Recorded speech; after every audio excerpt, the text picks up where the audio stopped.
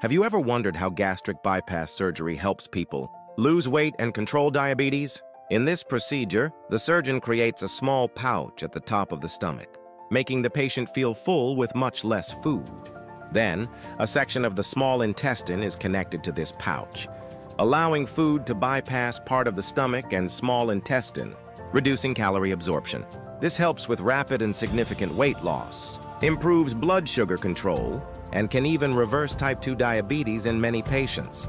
The surgery usually takes around two to three hours and requires general anesthesia. Most patients stay in the hospital for two to three days and return to normal activities within a few weeks. After the surgery, patients need to follow a strict diet, take vitamin supplements, and commit to long-term lifestyle.